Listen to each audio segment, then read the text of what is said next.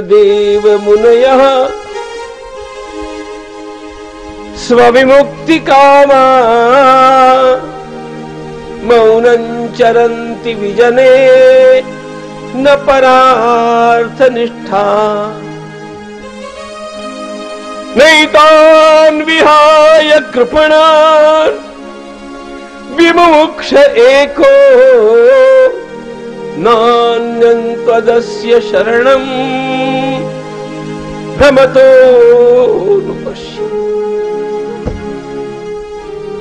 देखो, भक्तों की परंपरा में प्रहलाद जी का नाम सबसे ऊँचा है। सबसे ऊँचा। प्रहलाद जी के गुरुदेव नारद जी है। लेकिन भक्तों के स्मरण में गुरु के पहले भी इस शिष्य का नाम लिया जाता है। प्रहलाद नारद पराशर पुंडरीक व्यासांबरीश शुक शौनक भीष्मदाल्भ्या रुक्मांगदार्जुन वसिष्ठ विभीषणादीन पुण्यानिमान परम भागवतान स्मराम। रोज सवेरे उठकर के संतों का स्मरण करना चाहिए।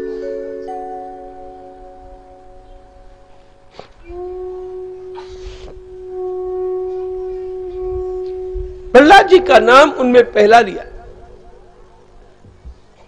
जबकि नारद जी उनके गुरु जी उनका नाम बाद में इस एक श्लोक ने प्रहलाद जी को सबसे महान बना दिया। यह एक भावना। प्रहलाद जी ने एक तो कहा कि ठाकुर, मुझे नरकों का डर नहीं, मुझे किसी बात का डर डर केवल एक बात का है कहीं मेरी जिह्वा से आपका नाम नहीं हट जाए, और कहीं मेरे हृदय से आपका प्रेम नहीं दूर हो जाए। देखो, अंतकरण में भगवान की भक्ति भी भगवान की कृपा के बिना जागृत नहीं होती। और भगवान की कृपा के बिना वो टिकती नहीं।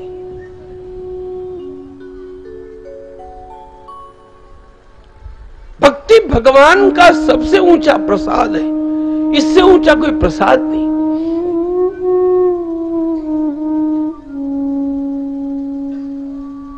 ज्ञानियों के शिरोमणि है उद्धव जी महाराज। और भगवान के अंतरंग ज्ञानी सखा है। और सारा ज्ञानोपदेश होने के पश्चात उद्धव जी ने क्या मांगा है?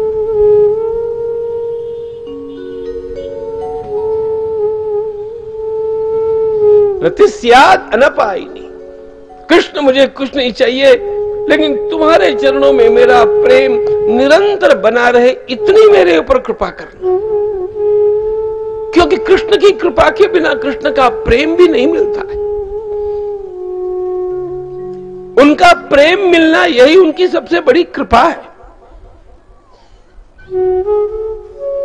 तो प्रहलाद जी ने कहा, मेरा शरीर नरक में है कि और कहीं है, मुझे इसका, इसकी कोई परवाह नहीं। लेकिन आपका प्रेम मेरे हृदय में निरंतर उछलता रहे। आपका नाम मेरी वाणी पर नृत्य करता रहे। और इसके पश्चात प्रहलाद जी इतना ही कहते हैं, मेरे आसपास का जो सारा समाज है, इन सबको भक्ति मार्ग का ज्ञान हो जाए, बोध हो जाए, और ये आपकी भक्ति में लग जाए ऐसा कुछ करने का सामर्थ्य मुझे दीजिए। क्योंकि सारे बड़े बड़े लोग व्यक्तिगत मुक्ति की आकांक्षा लेकर के बैठे हैं। कोई कंदरा में बैठ करके योगाभ्यास कर रहा है। कोई ठाकुरबाड़ी में बैठ करके अकेला ही पूजा अर्चा कर रहा है। प्रहलाद जी कहते, मुझे वो नहीं करना है। कोई ज्ञानी बन गया, कोई योगी बन गया। प्रहलाद जी कहते, नहीं, मुझे तो ऐसा सामर्थ्य दो मेरे ठाकुर, जिससे मैं लोगों के उद्धार में सहायक बन सकूँ। नैतान विहाय कृपणान, विमुमुक्ष एको। यह प्रहलाद जी की कितनी बड़ी बात है। मैं आपके साथ वैकुंठ आना नहीं चाहता। मैं मुक्त हो जाना भी नहीं चाहता। मैं लोगों का उद्धार चाहता देखो, कोई ज्ञानी है, कोई योगी है, और कोई संत है, इसमें अंतर क्या है? अरे, ज्ञानी भी तरते हैं, योगी भी तरते हैं, लेकिन ज्ञान से प्राप्त होने वाली मुक्ति, योग से प्राप्त होने वाली मुक्ति, यह व्यक्तिगत बात है, और भक्ति करने वाले संत ये चाहते हैं कि हम केवल तरे नहीं, जिस परमात्मा के मार्ग के ऊपर हम चले हैं, दीवाने बनकर के लाखों का समुदाय लोगों का उसी मार्ग में चलता रहे। सतरती सतरती सलोकांश तारयती। लोगों का उद्धार होते होते हमारा उद्धार हो जाए। हमारा उद्धार हो गया और लोग तो पशु का जीवन जी रहे हैं। नहीं। इन बेचारों को पता ही नहीं है कि जीवन क्या होता है। उनको कौन समझाएगा? नैतान विहाय कृपणान विमुमुक्ष एको। अकेले की मुक्ति मुझे नहीं चाहिए। योगी में और संत में ये अंतर होता है। ज्ञानी में और संत में यह अंतर होता है। इसलिए ध्यान रखना, संसार का यदि सर्वोच्च शब्द कोई है तो वह संत है। सबसे ऊँचा।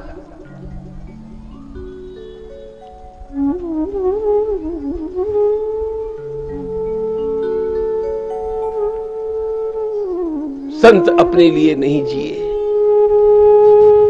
संतों ने अपनी मुक्ति की केवल आकांक्षा नहीं रखी। संत सबके होकर के रहे, सबके लिए रहे, सबको लेकर के भगवान की ओर चले।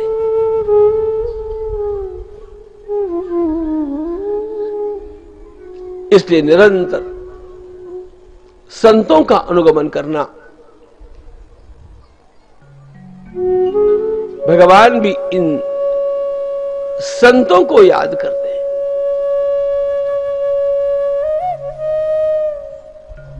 साधवो हृदय मह्यम भगवान ने अम्बरीश से कहा, अम्बरीश, अरे मेरी छाती को खोल करके देखो उसमें तुम्हें केवल संतों का स्मरण मिलेगा। केवल संतों का। मेरे हृदय में केवल संत होते हैं। क्योंकि उनके हृदय में केवल मैं होता। हूँ इसके पश्चात प्रहलाद जी को भगवान ने बहुत लुभाने का प्रयास किया। मांगो, प्रहलाद जी ने कहा, नहीं। ठाकुर, आपका भजन हमने कुछ मांगने के लिए नहीं किया। और यदि आप देना ही चाहते हैं तो ऐसा मन दे दीजिए जिस मन में किसी से कुछ मांगने की आकांक्षा ही उदित न हो। यदिराशीष में कामान वरास्तम वरदर्शव। कामानाम हृदय संरोह भवतस्तु वरम। ऐसा मन मांगा है प्रहलाद जी ने, जिस मन में किसी से कुछ मांगने की इच्छा निर्माण ही न हो। प्रहलाद जी निष्काम है। अरे कितनी बार भगवान ने कहा, कुछ मांगो मांगो मांगो मांगो, प्रहलाद जी, नहीं नहीं नहीं नहीं करते रहे। कभी कभी मुझे ऐसा लगता है, प्रहलाद जी की जगह हम होते ना, भगवान को इतना परेशान नहीं होना पड़ता। मांगो कहने का अवकाश। लंबी लंबी प्रिंटेड लिस्ट अपने पास तैयार है।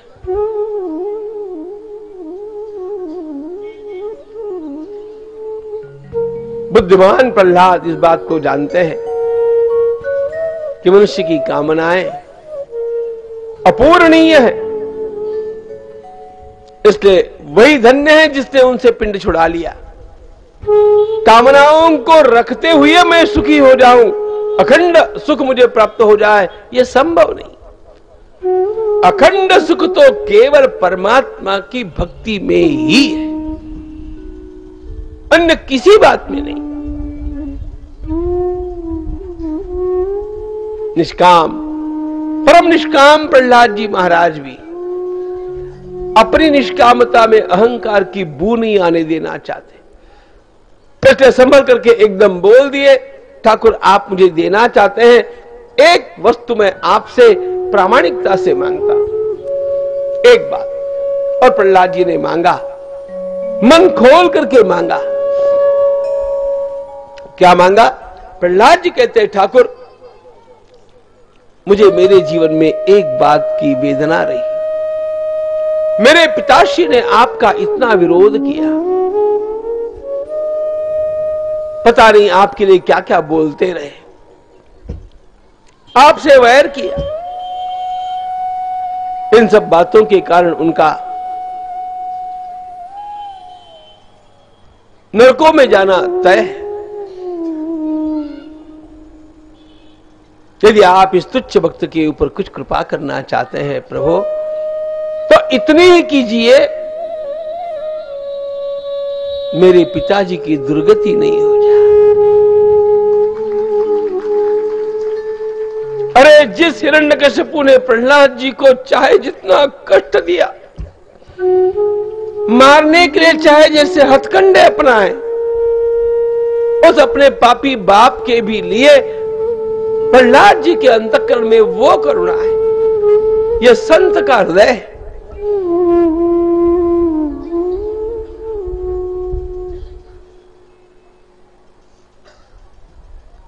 तस्मात् पिता में पूयेत दुरंता दुस्तरात अघात।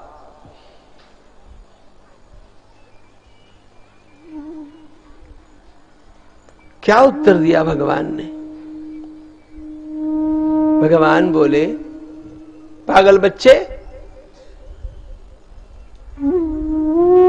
तुम्हारे पिताजी के उद्धार के लिए मेरी कोई आवश्यकता नहीं है।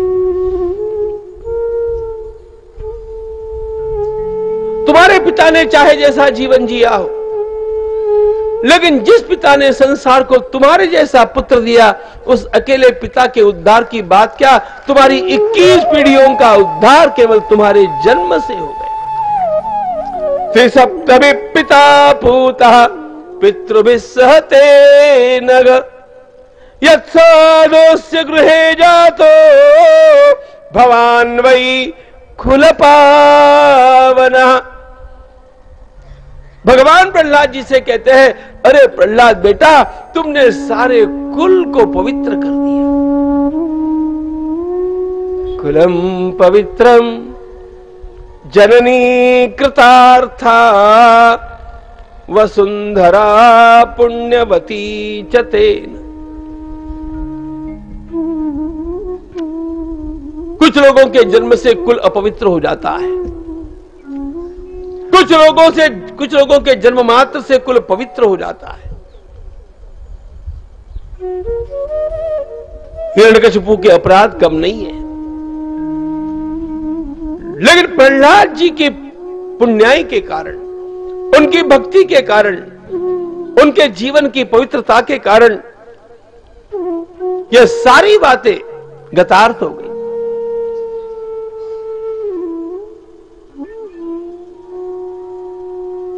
भगवान वही कुल पावना प्रभु के वाक्य है, अरे प्रहलाद, तुमने पूरे कुल को पवित्र कर दिया।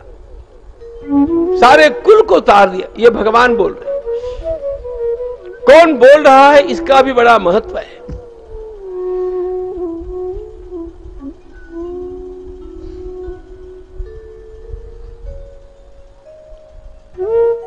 हमारी अगली पीढ़ी के बालक इस प्रकार के जन्म नहीं चाहिए। ऐसी आकांक्षाएँ माताओं को अपने अंतकरण में रखनी चाहिए।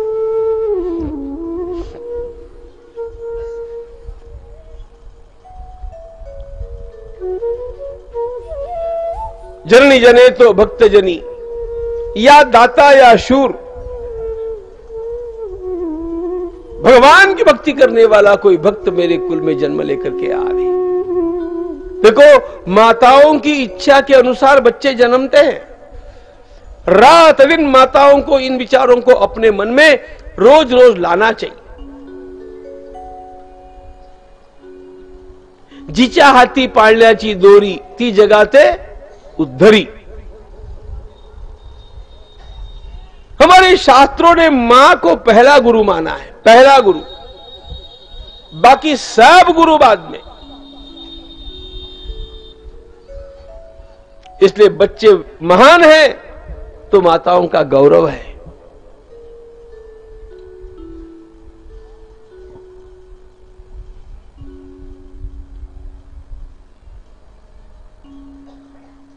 मेरे कुल में भगवान की भक्ति करने वाले भक्त का जन्म नहीं हो सका कोई बात नहीं। दाता परमात्मा की सेवा में अपनी सारी संपत्ति लगाने वाला दानशूर मेरा पुत्र, मेरा पौत्र, मेरा प्रपौत्र हो। जो कमावे खूब और खुल करके धर्म के सेवा कार्य में लगा रहे। अपने लिए बटोरने के रास्ते तो सारा संसार बैठा ही है। मेरा बंगला अच्छा बनना चाहिए। ऐसा किसको नहीं लगता? लेकिन भगवान का मंदिर अच्छा होना चाहिए, ऐसा जिसको लगे, वो सच्चा बालक।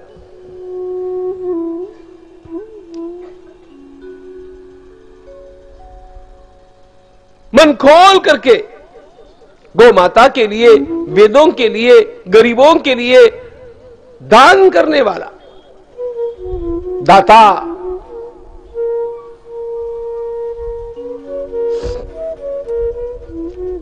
या शूर भगवत भक्ति नहीं समझे। दान करने जितना कमाए नहीं।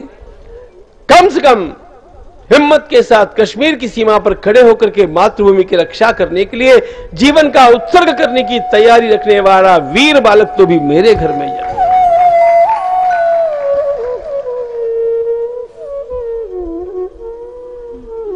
आप लोगों को गौरव का अनुभव होना चाहिए।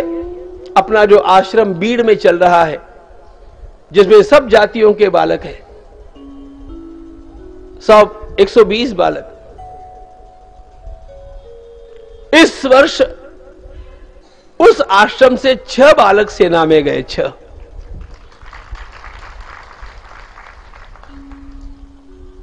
सेना के लिए उनको चुना गया। या शूर भगवान की भक्ति करने वाला हो खुल करके दान करने वाला हो, मातृभूमि की रक्षा करने के लिए, जीवन का उत्सर्ग करने की तैयारी रखने वाला हो, लेकिन भूले चुके भी झाड़ू लेकर के चलने वाला नहीं हो। ये सब दिल्ली के झाड़ू वाले।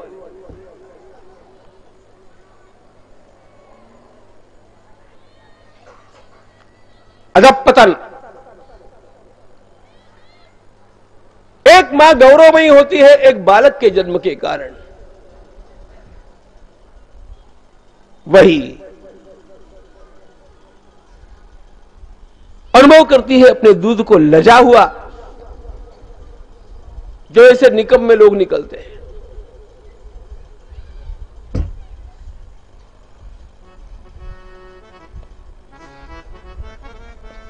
केवल निरुपयोगी ही नहीं देशद्रोही।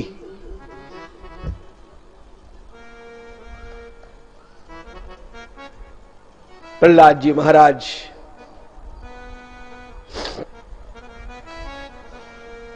भक्तों के शिरोमणि।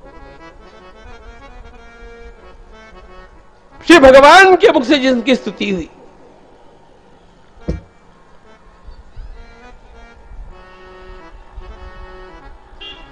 हाथ जोड़ करके प्रहलाद जी खड़े। नृसिंह भगवान का पूजन हुआ और भगवान अंतर्धार हुए। नृसिंह भगवान की जय। समयानुसार प्रहलाद जी का राज्याभिषेक हुआ। कावेरी नदी के तट पर प्रहलाद जी महाराज को भगवान दत्तात्रेय स्वामी का दर्शन प्राप्त हुआ। भगवान दत्त प्रभु ने श्री प्रहलाद जी को योग का उपदेश किया। दत्तावतार नित्यावतार है।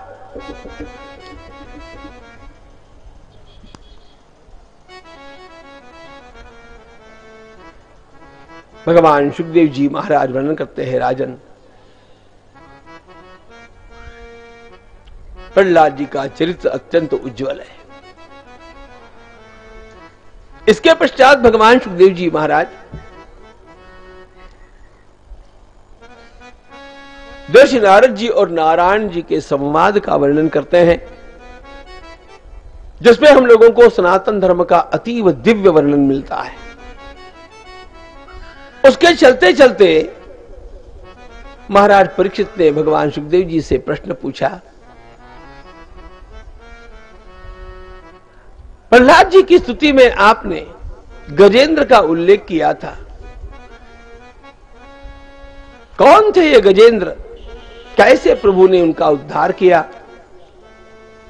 भगवान सुखदेव जी महाराज, गजेंद्र की कथा का विस्तार से वर्णन करते हैं। आसी गिरिवरो राजन श्रीकूट इति विश्रुता।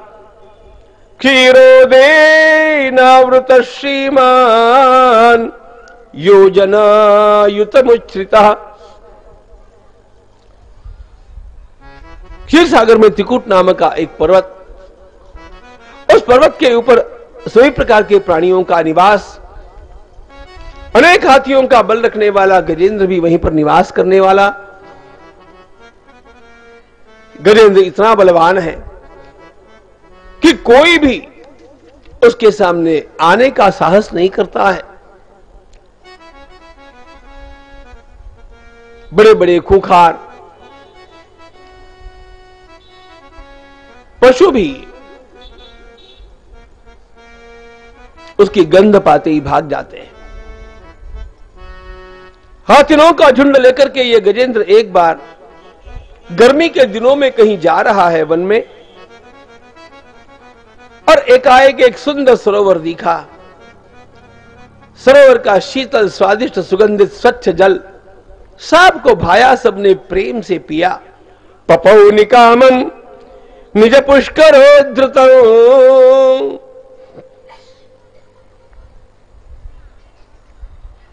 शीतल जल का स्पर्श सबको अच्छा लगा, गर्मी के दिन थे। और सब उस सरोवर में क्रीड़ा करने लगे। गजेंद्र को पता नहीं। उसी सरोवर में एक मगरमच्छ का निवास है और वह भी बड़ा बलवान है।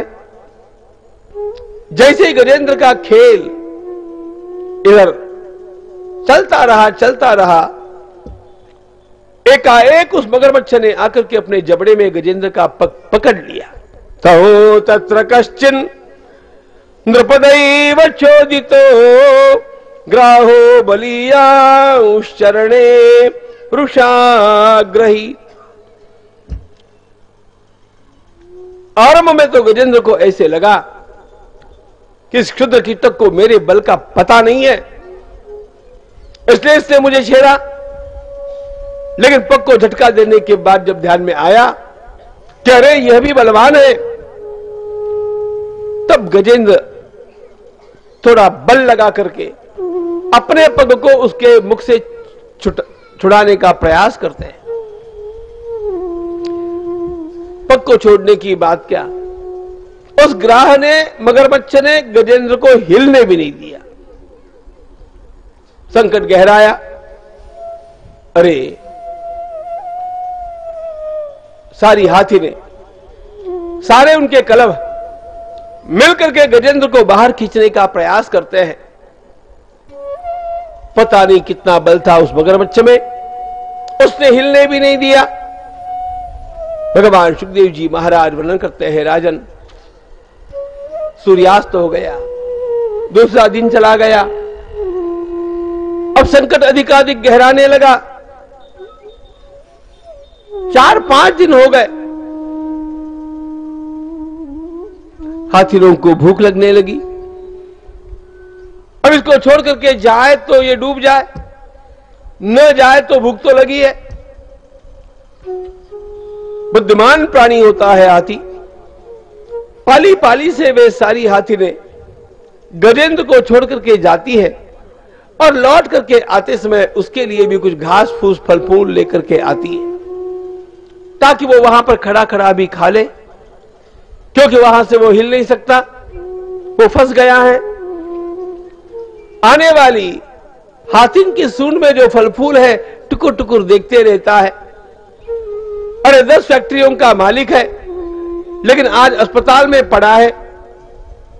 घर से टिफ़िन आएगा, तब ये खाएगा। डिपेंडेंस। यह दुख गजेंद्र को कभी अनुभव नहीं हुआ था। आज गजेंद्र इस दुख से पीड़ित हो गया। लेकिन लाचार भी था, क्या करता? भगवान सुखदेव जी महाराज वर्णन करते हैं, राजन। बड़ी विचित्र बात यह भी हो गई। अरे हाथिरों की संख्या घटने लगी। दो चार गई, फिर दो चार गई, फिर और गई। अब तो दो चार ही बच गई। अच्छा जाने वाली सारी हाथी ने अपने कलबों को, बच्चों को साथ लेकर के जाती है टाबरा टूबरा साथ चल बेटा चल बेटा।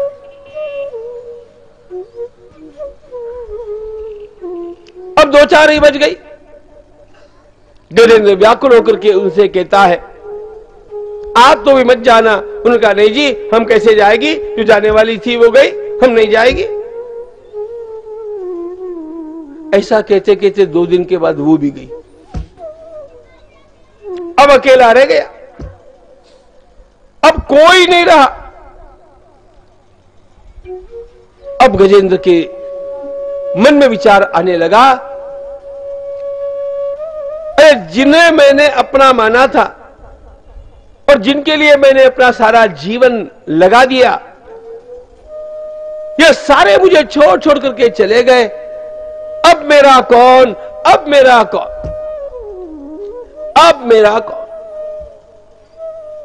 और ध्यान रखना यह प्रश्न उस गजेंद्र नाम के हाथी का प्रश्न नहीं है। हम सभी को इस प्रश्न का उत्तर समय के रहते पाने की आवश्यकता है। जीवन के आनंद सरोवर में क्रीड़ा करते समय इस बात को मत भुला देना कि मौत नाम का मगरमच्छ इसी में रहता है। और जब वह मृत्यु नाम का ग्राह झड़पता है, तब तो कोई अपना नहीं रह जाता।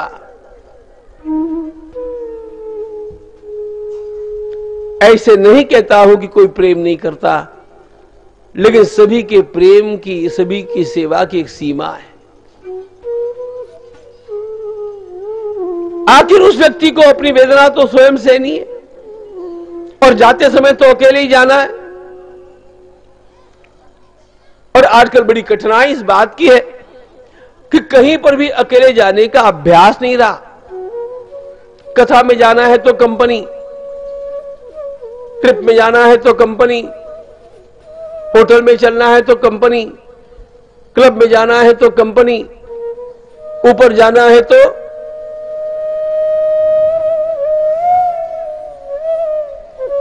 नहीं मराठवाड़ा में कोई नई योजना बनी हो तो मुझे पता नहीं है। नो कंपनी जीवन का यह एक अत्यंत कठोर सत्य ध्यान रखना अकेला आया, अकेला ही जाता है।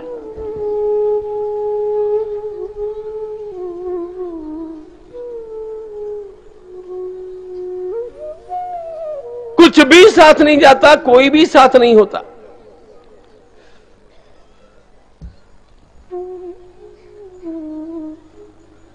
गजेंद्र प्रश्न के चिंतन में डूबा। अकेला, अब वो डूबता जा रहा है। ऐसी अवस्था में आप शांत रह सके, इसलिए भगवत गीता का अभ्यास अभी कर लेना। जिसने मन लगा करके गीता का कुछ अध्ययन किया होगा, उसको शांति की कला अपने आप अवगत हो जाती है। अरे छोड़ो बाकी गीता, एक पंक्ति भी याद है ना आपको? सुर सर्वभूताना। भगवान सबके श्रुत है।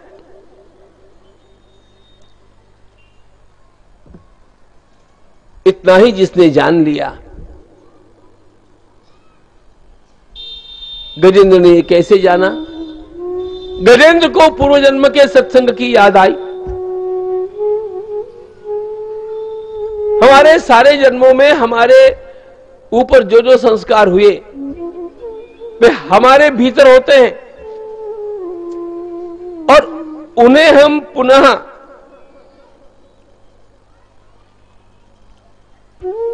बाहर निकाल सकते हैं।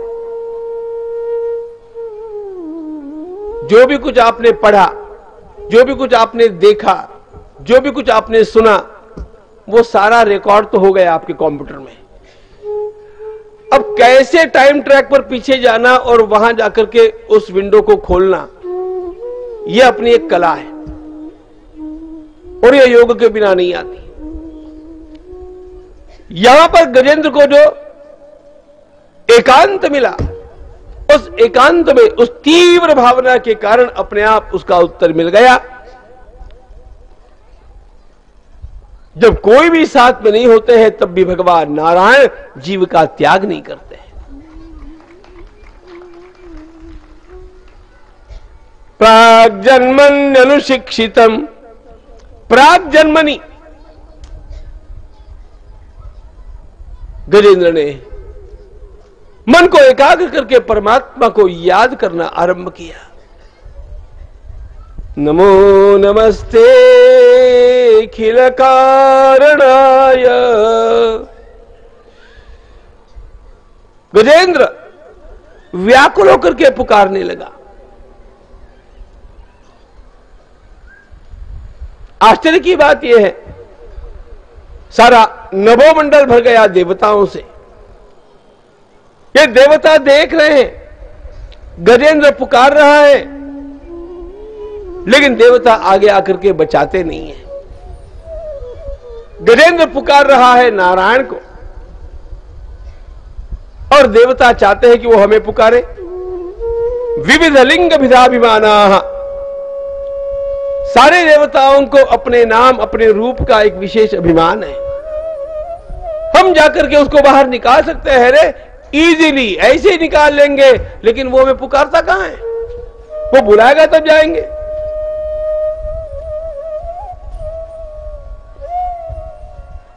कठिनाई ये हो गई। जिसको पुकारा है वो आया नहीं। और जो आकर के खड़े हैं, उनको गजेंद्र पुकारता नहीं। गजेंद्र ने भी विचार किया, नहीं अब मैं अपनी भक्ति में व्यभिचार नहीं होने दूँगा। अब भगवान नारायण के पधार कर मेरा उद्धार करने में ही मेरे जीने की शान है, नहीं तो जो हो जाएगा मंजूर है। मादृक प्रपन्न पशुपाश विमोक्षणाय मुक्ताय भूरि करुणाय नमोलयाय भगवान सुखदेव जी महाराज वर्णन करते हैं, गजेंद्र के दोनों नेत्र आकाश की ओर लगे वहाँ का एक कमल का पुष्प गजेंद्र ने अपनी सूंड में धारण कर लिया परमात्मा की पूजा के लिए आकाश की ओर देखता हुआ वह प्रभु की प्रतीक्षा कर रहा है। एक और तो वह आकाश की ओर टकटकी लगाए हुए है और दूसरी ओर वह सागर उस सरोवर में डूबता जा रहा है। मगर बच्चे उसे खींचता जा रहा है। देवताओं को लगता है, अब तो भी पुकारेगा, अब तो भी हमारी ओर देखेगा। गजेंद्र भगवान से कहते हैं, ठाकुर, अरे मेरे जैसा एक पशु जिए तो क्या और मरे तो क्या, इस सृष्टि के चक्र में कोई बड़ा परिवर्तन नहीं होने वाला है। लेकिन ठाकुर, आज आपका दौर करके आकर मुझे बचाना इसलिए आवश्यक है कि यदि आज मैं डूब गया तो मेरे साथ आपका नाम भी डूब जाएगा।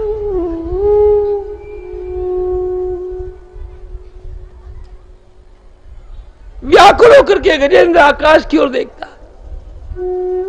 एक प्रकार की कल्पनाएँ करता है, क्या ठाकुर मेरी वाणी को सुन नहीं रहे? क्या प्रभु के अंतकरण का करुणा का भाव बदल गया? क्या मैं उनको दिखता नहीं हूँ? ऐसा कैसे हो सकता है? नसे न दिसलो कसा अरे मराठी भाषा के ये काव्य आपने पढ़े नहीं। क्या पढ़ा मराठी में? नसे न दिसलो कसा नयन सर्व साक्षी रवि। विषाद धरिला म्हणो न सुरभी विषक्षी रवी। अगा प्रणत वत्सला म्हणती त्या जना पावला म्हणून तुमच्याच मी स्मरतसे सदा पावला. करू बरी कृपा, हरू व्यसन, दीन तापला. असे मनिधरा खरा भरवसा मला आप। नहीं ठाकुर, आप मुझे डूबने देंगे नहीं, आप मेरा उद्धार करेंगे। उसका अंतकरण क्रंदन करता है। मुझे भरोसा तेरा राम मुझे भरोसा तेरा राम।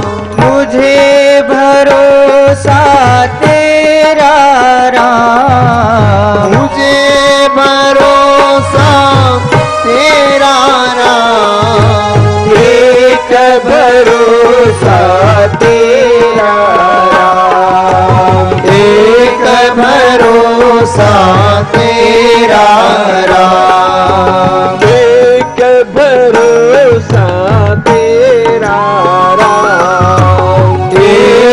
भरोसा तेरा शरण शरण, शांति धाम। तुझे भरोसा तेरा शरण शरण, शांति के धाम। मुझे भरोसा तेरा राम शरण शरण, शांति के धाम। मुझे भरोसा, तेरा शरण शरण, शांति के धाम। मुझे भरोसा, तेरा राम।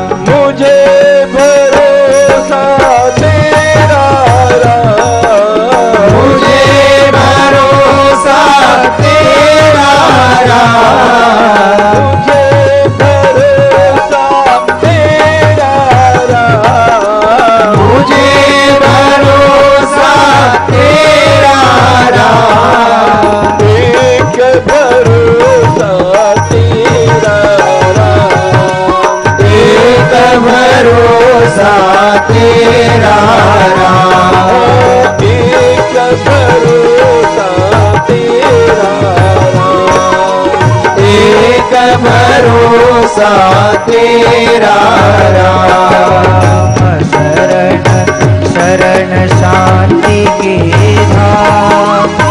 मुझे भरोसा तेरा राम। शरण शरण शांति के धाम। मुझे भरोसा तेरा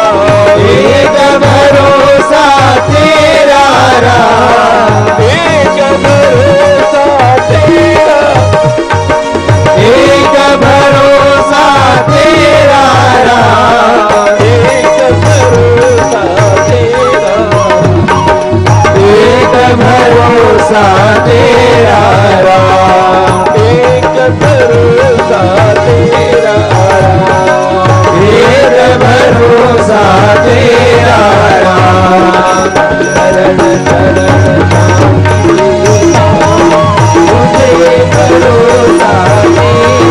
श्याम शरण शरण शांति के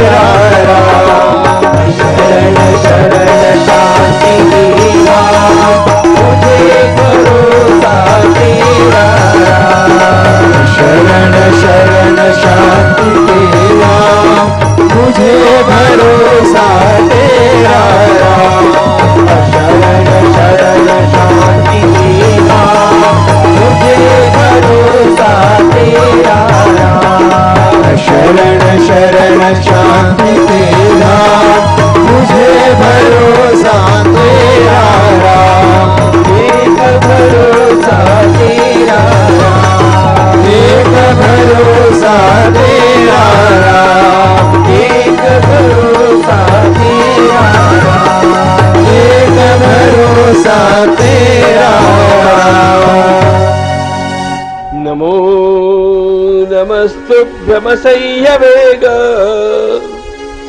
शक्तित्रयायाखिलधी गुणाय प्रपन्नपालाय दुरन्तशक्तये।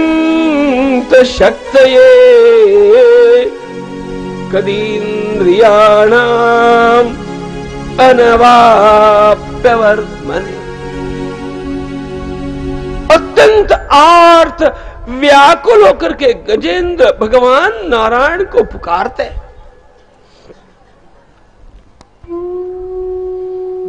लेकिन प्रभु के आने का कोई आभास नहीं। सारे अन्य देवताओं को लगता है, अरे हार करके आखिर तो भी ये हमारी ओर देखेगा, हमें पुकारेगा। गजेंद्र का मन मानता नहीं।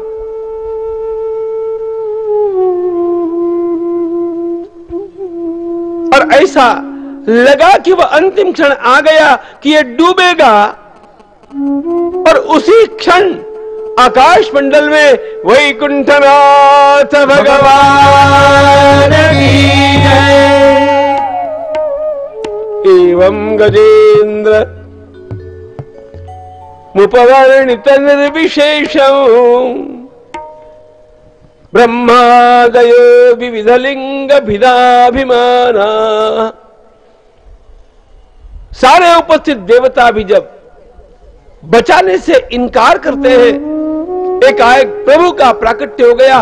प्रभु को गजेंद्र ने देखा मात्र और अत्यंत व्याकुल अवस्था में गजेंद्र ने, हे नारायण, प्रणाम! कहकर के उस अपने सूंड के एक कमल के पुष्प को उछाल दिया नारायण अखिल गुरु भगवान, नमस्ते।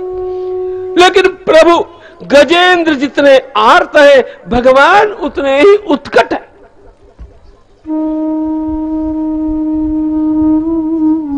सुखदेव जी महाराज की वर्णन शैली का कमाल यह है। भगवान ने वहाँ पर आकर के अपने चक्र को उठाया नहीं, भगवान तो चक्र को सिद्ध करके ही आए। और देखा मात्र और दूसरे क्षण चक्र ने उस मगर का शिरच्छेद कर दिया। नारायण भगवान की जय। तम तद्वदार्थमुपलभ्य जगन्निवासा। स्तोत्र निशम्य दिविजय सह न छंदोमयेन गरुड़ेन समुह्यमान। चक्रायुधोभ्य गमदाशु यतो गजेंद्र। वैकुंठ से चलते समय ही भगवान चक्र को सिद्ध करके चले। आराम से आए और फिर चक्र को सिद्ध नहीं किया।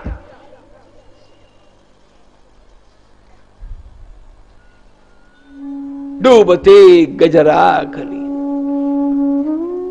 सारे के सारे देवता पुष्पों की वृष्टि करते हैं, जय जयकार करते हैं। श्रीमन नारायण भगवान की जय। तेषाम हम समुद्धरता। तेषाम हम समुद्धरता। मृत्यु संसार सागरा। भवामी न पार्थ। मैयावेशित चेत। देखो, कुछ मत पढ़ो, लेकिन गीता पढ़े बिना मरना नहीं।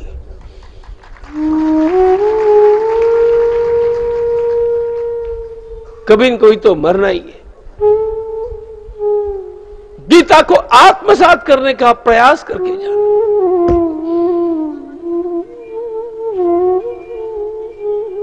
गीता मृत्युंजय शास्त्र है।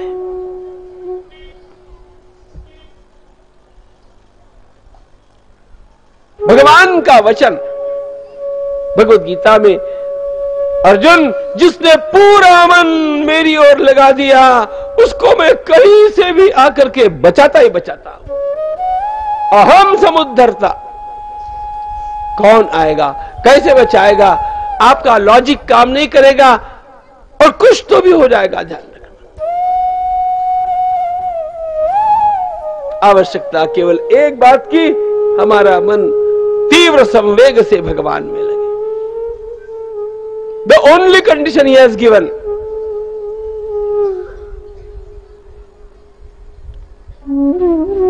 कितना धन ला करके देने पर, कितने डॉलर ला करके देने पर, कितना और दान धर्म करने पर और कितना जप करने पर, कितना तप करने पर, कितनी यात्रा करने पर, ये सारी बातें भगवान ने नहीं कही। भगवान ने कहा, तीव्र संवेग से पूरा मन जिसने मुझमें लगा दिया। मैं आवेशित चे, आवेशित।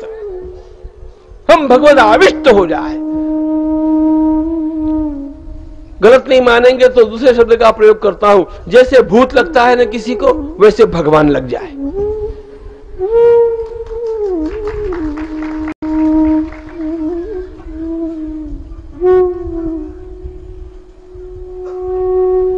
भूत प्रेत का आवेश होता है।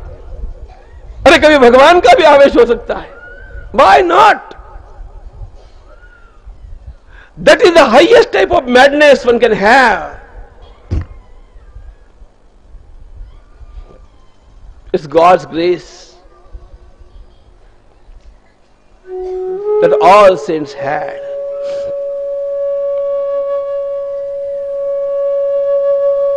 मैयावेशित चेतसाम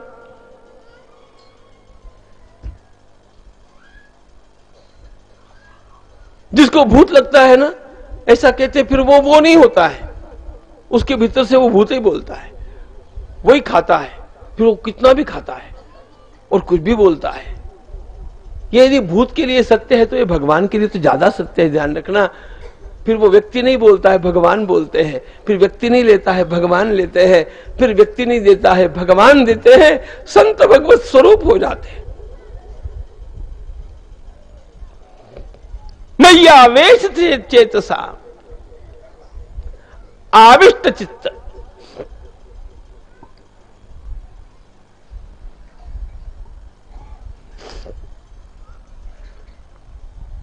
गजेंद्र ने जैसे ही अपना मस्तक प्रभु के चरणों में धरा, गजेंद्र का भी शरीर छूट गया जी। यह पूर्व जन्म का इंद्रद्युम्न नाम का राजा था।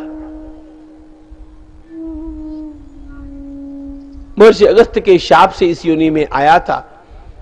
भगवान ने केवल संकट से मुक्त नहीं किया, भगवान ने पशु योनि से भी मुक्त कर दिया।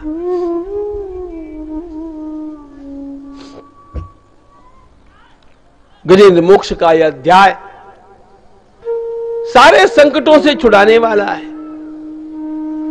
श्रीमद भागवत में केवल कथाएँ नहीं है। यह केवल श्रव्य ग्रंथ नहीं है यह अनुष्ठेय ग्रंथ है। काशी हिंदू विश्वविद्यालय के संस्थापक पूज्य महामना मालवीय जी महाराज रोज गजेंद्र मोक्ष के ग्यारह पाठ करते थे। और उन्होंने लिख करके रखा है, बड़े से बड़े संकट मेरे ऊपर आए और मैं सीधे छूट गया, इसका कारण मैंने गजेंद्र मोक्ष का पाठ किया।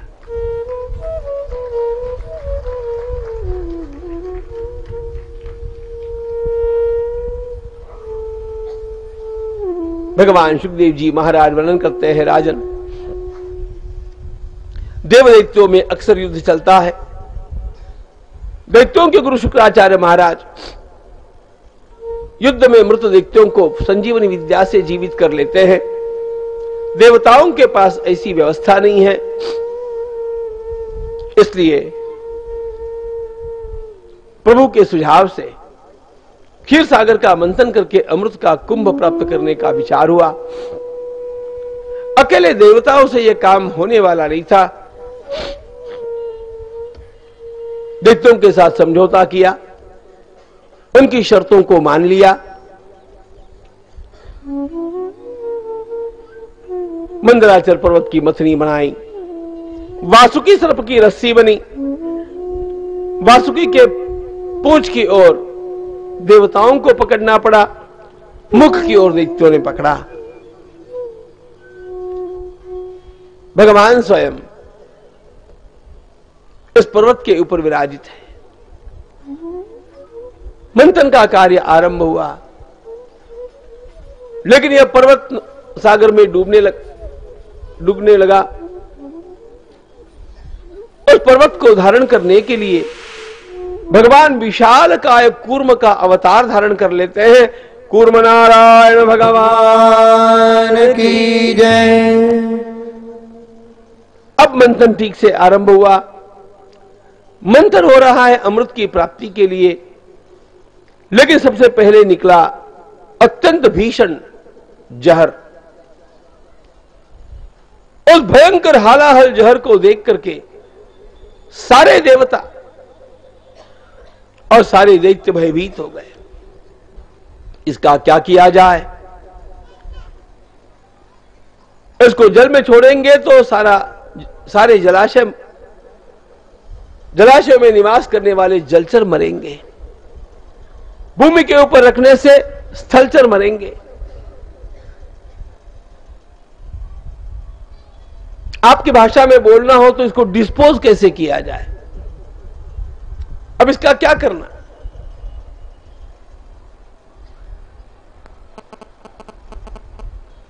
व्यक्तियों ने पहले कह दिया, हम तो आपके लाभ के साझेदार हैं, नुकसान तुम्हारा। आई बारी देवताओं की, देवताओं में इस कालकूट को पचाने की क्षमता कहा?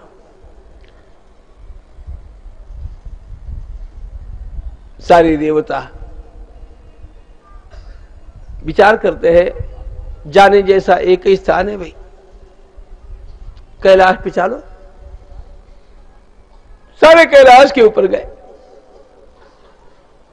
भगवान महादेव जी का स्तवन किया।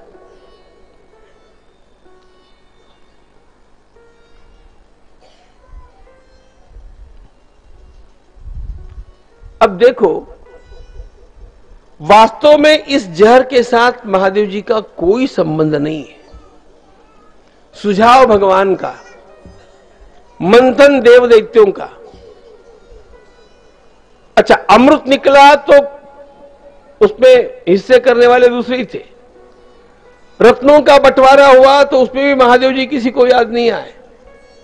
लेकिन जहर जब आया ना, महादेव, हे महादेव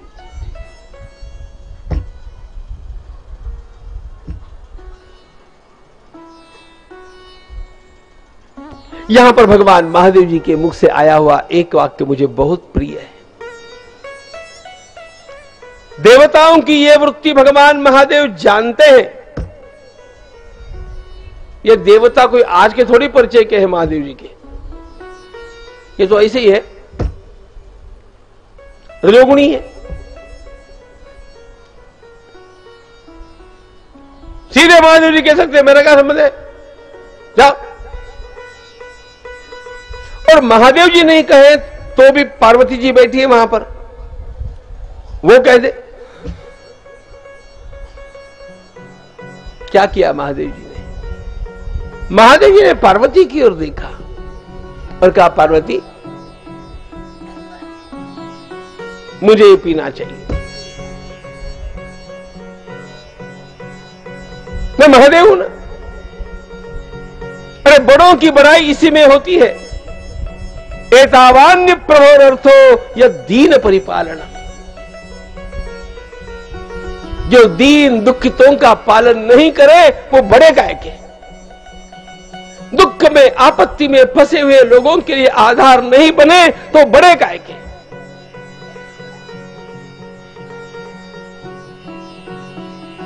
मैं बड़ा मैं बड़ा। कैसे बड़ा? देखो जीवन में केवल धन कमा करके अपने को बड़ा मत कहलवाना, कोई आपको कहने वाला ही नहीं है। अरे, बहुत कमाने वाले बहुत आए और बहुत चले गए। संसार ने याद उनको रखा है, जिन्होंने अपनी दौलत लोगों की सेवा के लिए अर्पण की है। जो दीन दुखितों के सहारे बन गए। जबकि अनेक बार समाज उनकी वो कदर भी नहीं कर सकती। लेकिन उनको उनकी भी, भी कोई बात नहीं थी।